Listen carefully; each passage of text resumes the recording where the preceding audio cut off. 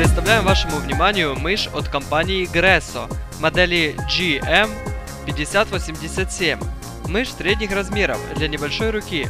Лежит удобно, рука при этом не скользит. Асимметричный дизайн мыши позволяет работать как правой, так и левой рукой. При этом пользователь не будет чувствовать себя дискомфортно. Корпус серебристого цвета, а верхняя часть светло-серая. Зеркальное колесо скролла имеет резиновый рифленый ободок. Оптическое разрешение мыши составляет 800 dpi, а длина кабеля 1,3 метра. Общее количество клавиш 3 и колесо прокрутки. Данная мышь совместима со всеми операционными системами, а интерфейс подключения PS2. Также есть идентичная мышь с подключением USB.